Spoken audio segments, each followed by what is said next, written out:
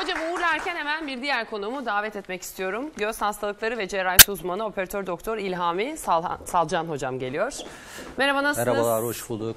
Teşekkürler, sağ olun. Nasılsınız? Gayet iyiyiz, teşekkür ederiz. Birazcık da göz sağlığımızı konuşalım istiyoruz. Öncelikle hocam masayı bana bırakır.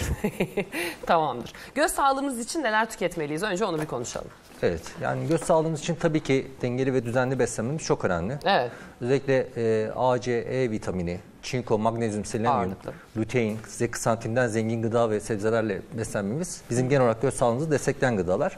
Mesela nelerde var bu? Örneğin A vitamininden zengin olan havuç, e, Değil mi? tatlı Havuç hep patates. bilinir. Tatlı Aynen. patates. Kırmızı biber, deniz ürünleri, yine C vitamininden zengin turunçgiler, ahududu, yaban mersini ve özellikle luteinden zengin olan brokoli, e, e, pazı, ıspanak, Brüksel lahanası. Bunlarla genel olarak beslenmemiz genel olarak e, göz sağlığımızı desteklemekle beraber örneğin e, gece körlüğü, e, sarı nokta hastalığı ya da katarak oluşumunu da engellemekte. Engellemekte. Evet. Çok güzel. Peki hocam şu konuyu daha önce pek konuştuğumuzu hatırlamıyorum. O yüzden benim de dikkatimi çekti. Buyurun. Gözde ışık çakmaları. Evet. Gözde ışık çakmaları neden oluşur? Zamanla geçer mi? Şimdi bizim gözün iç- içerisinde bir sıvı var. Vitreous dediğimiz jel gibi sıvı var. Bu sıvı zamanla gözün en arkasındaki retina dediğimiz görme alanından ayrılıyor. Bu normal olması gereken bir şey. Bu ayrılma sırasında hasta gözünün önünde ışık çakmalarının, sinek uç- uçuşmalarının olduğunu e, bahseder. Ha evet şöyle bir yıldızları Evet, gördüm deriz. aynen. Aslında o sizin Aynen. bahsettiğiniz şey. Ha. Şimdi burada önemli olan şey gözün arkasında bu ayrılma olduktan sonra gözün arkasında bir yırtık oldu mu olmadı mı retinada. Çünkü eğer yırtık varsa bizim onun etrafını argon dediğimiz lazerle yapıştırarak güçlendirmemiz lazım. Ee, O yırtıldıysa biz bunu anlamıyoruz herhalde. Evet yani buradaki önemli şey ışık çakmalı ve sinek uçuşmalarının olması. Hasta gözünün önünde şimşek çakar gibi, çakmak çakar gibi şeyler gördüğünü, yüzlerce binlerce sinek, sinek uçtuğunu gör- e, söylerler. Bu durumda en kısa sürede bir göz doktoruna giderek gözle bir muayeneleri yaptırmanız çok önemli. Peki gözde kızarma veya kanlanma neden oluşur? Nasıl önlem alabiliriz? Evet, yani gözde kızarıklık ve kanlanma genel olarak uykusuzluk, yorgunluk, stres bunlara da bağlı olabileceği gibi iltihabi ya da alerjik bir duruma da bağlı olabilir. Ee, tabii e, genel olarak gözde kızarıklık kanlanmanın yanında özellikle sarımsı, yeşilimsi akıntıların olması ya da e, görmede bir azalma olması bizim bu konuda hastalarımızı uyarım, uyarmamız lazım bu konuda. Yani o durumda en kısa sürede yine bir göz doktoruna giderek muayene olmaları lazım. Alabileceğimiz en, en büyük önlem de ellerimizi gözlerimize değdirmememiz ve oluşturmamamız. Oluşturmamız Evet. o, o anlamda önemli diyorsunuz. Peki az önce minicik bahsettik ama sarı nokta hastalığına birazcık giriş yapalım. Dilerseniz Evet. nedir sarı nokta hastalığı? Şimdi sarı nokta hastalığı bizim gözümüzün arkasında retina dediğimiz bir görme alanında çok ufak bir nokta var, maküle dediğimiz. Ama bizim için çok önemli çünkü bizim görmemizi %90 oranında sağlayan yer burası. Burada çok düzenli bir yapı bulunmakta. Ama maalesef özellikle yaşımızın ilerlemesi ya da bazı çevresel faktörlerin etkisiyle buranın bu yapısı bozulmakta. Ve bazı birikintiler, oluşumlar meydana gelmekte. Dolayısıyla görmemizi azaltmakta. İşte biz buna sarı nokta hastalığı diyoruz. Evet yani bu hastalıkların görüşü nasıl oluyor hocam? Şimdi sarı nokta hastalığı tabii önce görmede bir genel olarak azalmayla beraber hasta e, baktığı cisimleri olduğundan büyük ya da küçük gördüğünü ya da e, kırılmalar olduğunu söylerler. Hastalık ilerledikçe sarı nokta hastalığında özellikle santral görme bozulur. Yani hasta baktığı yerin merkezini göremediğini söyler. Dolayısıyla bu hastalar genelde e, görebilmek için kafalarını sağa sola yukarı aşağı doğru çekerek, döndürerek bakmaya çalışırlar. Evet. Peki e, tedavisi nasıl yapılıyor? Mesela genel anestezi altında mı yapılıyor? Yani Başarı bunun- oranları ne kadar Evet hocam? yani bunun tedavisinde tabii normalde genel olarak yaptığımız hastanın mevcut görmesini korumak. İşte bununla ilgili çeşitli vitaminler var, çeşitli göze tatbik ettiğimiz ilaçlar var, iğneler var. Ve son olarak da özellikle görmesi ciddi olarak e, ciddi olarak kalıcı olarak azalmış hastalarımıza göz içi lensi tedavisi uyguluyoruz. E, hastanın yerleş- yerleştireceğimiz bir lens ve daha sonrasında vereceğimiz bir gözlük ile hastaların görmelerini ciddi oranda arttırabiliyoruz. Çok güzel. Görmeleri özellikle azalmış olan hastalara. Onlar için herhalde çok büyük bir değişim E tabii normal değil mi? günlük hayatlarını idame ettirir, eder hale, Hale geliyorlar. gelebilmeleri de Çünkü önemli. insanlar yüzde beş bile göremeyen insanlar yani. Peki e, tedavi sırasında hasta neler yaşıyor? Tedavi sonrasındaki süreç nasıl ilerliyor? Minicik onlardan bahsedelim. Aslında son derece konforlu bir ameliyat. Klasik bir ka- katarak ameliyatından farkı yok. E, lokal anesteziyle yapıyoruz, damla damlatıyoruz. E, 5-10 dakika süren bir ameliyat. Herhangi bir ağrısızlık çekmiyor. Yaklaşık bir hafta sonra da kendisine kullanması için gereken bir gözlük veriyoruz. Bu şekilde baktığı cisimleri çok daha büyük, çok daha net görebiliyor. Çok güzel. Peki şimdi gelelim premium akıllı lense. Nedir hocam premium akıllı lens? Şimdi biz e, neden premium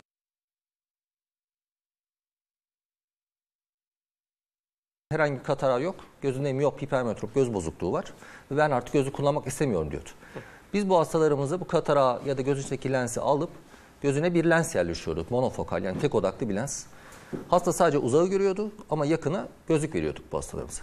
Şimdi çok odaklı lensler çıktı. Yani biz aynı şekilde bu hastaların katarağını alıyoruz ya da göz içindeki lensi alıyoruz. Göze bu çok odaklı lensi koyduğumuz zaman uzağın yanında yakın ve ara mesafeyi de artık gözlüksüz görebiliyorlar. Yani bunlar premium yani özellikle olan lensler ve akıllı lensler. Yani hem uzağı hem yakın hem ara mesafeyi hasta gözlüksüz görebiliyor. Çok güzel. Peki operasyon sırasında hasta bir ağrı, sızı hissediyor Hayır hayır mu? yani olabilecekleri en konforlu ameliyat sadece 5-10 dakika süren damlayla uyuşturuyoruz. Sadece ışığa doğru bakıyorlar. Ameliyat bitiyor, gözümüzü kapatıyoruz, normal hayatlarına devam ediyorlar. Devam edebiliyorlar. Peki akıl lens tedavisinde SGK geçerli midir hocam? En çok sorulan sorulardan bir Evet. tanesi. Bu da e, değişen ve des- e, değişen sağlık politikaları ve teşvik paketleriyle beraber e, tabii belli oranlarda uygun olan hastalara da artık SGK bu tedaviler için destek vermekte. Çok güzel. Ee, peki hocam akıllı lensi tekrar yenilemek gerekir mi yoksa ömürlük müdür bu Yok, lensler? değinmeye gerek yok. Bunlar ömürlük lenslerdir. Gözün içine koyuyoruz. Ömürlerin sonuna kadar herhangi bir deformasyon bozulma olmadan e, canlılığını korumakta. Ee, premium akıllı lens operasyonda numara sınırı var mıdır? Aslında genel olarak e, numara sınırımız yok. E, tabii bunlar belli numaralarla üretilen lensler piyasalar e, firmalar tarafından. Biz hastalarımıza ölçüm alıyoruz. Ölçüm sonrasında gözün içine koyacağımız lensin numarasını belirliyoruz. Yani göz numaraları çok aşırı yüksek olmayan e, ya da göz anatomisi çok değişik olmayan insanlar hariç hemen hemen %90-95 hastalarımıza uygulayabiliyoruz akıl lensi. Peki var mı eklemek istedikleriniz premium akıllı lens konusunu kapatacağım ama sizin tabii eklemek istedikleriniz varsa dinleyelim. Yani premium akıllı lensin özellikle en büyük katkısı hayat kalitesi ve konforu. Yani e, hayatı normal hayatlarını gözlüksüz yaşamaya e, yaşayabilmeleri hastaları çok mutlu etmekte. Hayat kaliteli konforlarını çok etkilemekte. Ve premium akıllı lens e, ameliyatı yapıp ya hayatım değişti. Çok sağ olun. Çok teşekkür ederim. E, keşke daha önce bu ameliyat olsaydım dediği, dene- dediği çok hastam var yani. Keşke daha önce cesaret etseydim diyenler de vardır mutlaka. Şimdi bambaşka bir teknolojiye geçiyoruz. No Evet. touch lazer, göze dokunmadan lazer nasıl yapılıyor hocam? Nasıl bir teknolojidir? Evet yani şimdi biz normalde e, diğer yöntemlerde göze vakum yapıyoruz, korneayı kesiyoruz, ufak ya da büyük bir doku kaldırıyoruz ya da bir doku çıkarıyoruz. İşte no touch lazerde bunların hiçbirini yapmıyoruz. Yani göze dokunmadan saniye içerisinde miyop, hipermetrop, astigmat göz bozukluklarının hastalarımız kur- kurtuluyor. E, bu da son derece konforlu bir ameliyat. Herhangi bir ağrısızlık çekmiyor. E, sadece ışığa doğru bakıyorlar. 3-5 dakika içerisinde girip çıkması bitiyor. Avantajları nelerdir? Tabi burada en önemli avantajımız e, belki de ben e, hastaya verdiği güven ve anksiyete. Ya özellikle bu e, Değil mi? lazer- Dokunulmayacak evet, gözüme hissi. evet yani bununla ilgili gerçekten yıllarca bu tedaviyi erteleyen, korkan çok büyük e, insan grubu var. Tabii insanların ya benim gözüme evet dokunmayacaklar, herhangi bir kesmeyecekler, vakum yapmayacaklar e, hissini bilmesi, bunu bilmesi çok rahatlatıyor. E, bundan cesaret alarak bu tedavi olan çok insan var ve gerçekten hepsi de çok mutlu. Diğer önemli bir e, e, avantajı burada doku eksilmesi daha az. Herhangi bir doku kaldırmadığımız için. Dolayısıyla daha önceden e, lazer yapamadığımız, göz numaraları yüksek olan ve kornealı, korneası ince olan hastalarımızı da artık no touch lazer ile tedavi yapabiliyoruz. Evet. Ve bir de burada herhangi bir kesi yapmadığımız için korneada dolayısıyla buradaki sinirleri de zede- zedelemiyoruz. Dolayısıyla göz kuruluğu diğer yöntemlere göre çok daha az ve çok daha kısa sürmekte. Evet, kişi normal hayatına ne zaman dönebiliyor ameliyat olduktan Yani bir iki sonra? gün hafif bir batmamız oluyor. Kişiden kişiye değişiyor. Bir iki Ama gün batma Evet. sonrasında? Üçüncü günde herhangi bir şey kalmıyor. Normal hayatlarına dönüyorlar. Ee, normal rutin hayatlarına dönüyorlar yani. Peki bu tedavi için uygun kriterler nelerdir? Yani bir kısıtlama var mı hocam? Az önce E tabii var. yapa- yapılamayacakları söylemiştiniz aslında ama Evet. yine de kimlere uygulanıyor? Yani şimdi burada en önemli kriter tabii yaş. Önce yaş. 18 yaşını dolduracağız. Çünkü göz numarası ilerlemeye devam ediyor 18 yaşına kadar. Daha sonrasında göz numarasını takip ediyoruz. Bir yıl içerisinde 0.50'den fazla artış yoksa evet durmuş olarak kabul ediyoruz. Sonrasında hastanın gözünü değerlendiriyoruz. Korneasını, topografi dediğimiz haritasını değerlendiriyoruz. Bu hastanın gözü lazer tedavisine uygun mu değil mi diye. Özellikle bazı doğuştan hastalıklar var. Keratokonus gibi hastalıklar. Mesela bu hastalığa sahip olanları biz bu tedavi yapmıyoruz. Anladım. Ee, çok ciddi göz kuruluğu olan e, ya da çeşit- çeşitli e, romatizmal hastalığı, romatoid artrit, SLE gibi hastalığı olan ya da e, tip 1 diyabeti olan hastalarımıza ya da gebeliği olan ya da emzirme döneminde olan hastalarımıza biz bu tedavi yapmıyoruz. Anladım. Ee, hasta operasyondan sonra telefon, bilgisayar kullanımında bir problem yaşıyor mu yoksa hemen işbaşı yapabiliyor mu? Mesela hayır hayır hiçbir yapıyor? problem yaşamıyor. Normal hayatlarına dönüyorlar. Hastalarım bana soruyor hocam işte telefon kullanabilir miyim bilgisayar? Evet kullanabilirsiniz. Hiçbir sıkıntı yok. Normal damlalarını damlatacaklar. Bir de güneş gözlüğü kullanıyoruz hastalarımıza. Onun dışında normal hayatlarına dönüyorlar hemen. Güneş gözlüğü ne kadar kullanıyor? Minimum 3 ay kullandırıyoruz. Ultraviyole blokajını etkilemeye çalışıyoruz. E, göz sağlığımız açısından. Sürekli Ona- mi kullanmak zorunda? Ya dışarıda. Ha, dışarıda. Sadece gündüz saatlerinde kullanın. Gündüz saatlerinde. E, güzel. Peki göz tansiyonunu konuşalım. Göz tansiyonu hastalığı tehlikeli midir hocam? Nasıl bir hastalıktır? Evet, glokom, göz tansiyonu hastalığı glokom yani e, sinsi bir hastalık. Sinsi bir hastalık olduğu için evet çok tehlikelidir. Neden? E, burada periferden yani kenarlardan bir görme kaybı başlıyor. Biz hayatı genelde karşıya bakarak yaşıyoruz Sarı ama noktanın tam tersi galiba evet bu. aynen böyle yani. Yani buralarda olan kaybı biz görmüyoruz, fark etmiyoruz. Dolayısıyla bu hastalık ilerledikçe kenarlardan başlayan görme kaybı giderek santrali tutuyor. Ama santrali tuttuğu zaman biz fark ediyoruz ama maalesef iş işten geçmiş, Geçmiş oluyor. oluyor. Evet, çünkü burada oluşan kayıp kalıcı maalesef glokom Aa. hastalığı. Evet yani burada görme siniri ölüyor. Görme siniri ölmesine bağlı olarak zayıflamasına bağlı olarak görme alanında kalıcı bir kayıp oluyor. ve- Dikkat edersek keşfedebilir miyiz peki bunu? Evet burada en önemli şey aile hikayesi gibi. Aile Ha. hikayesi özellikle aile hikayesi olan hastalarımızın 40 yaşından sonra mutlaka bir göz muayenesi olması lazım.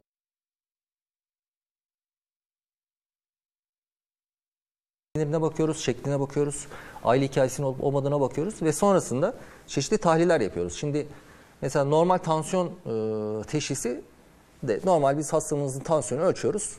14-9'un üzerindeyse diyoruz ki hipertansiyon. Bizde böyle değil göz tansiyonunda. Göz tansiyonunda ee, bir, hastanın tansiyon değeri önemli. İki, görme sinirinin görüntüsü önemli.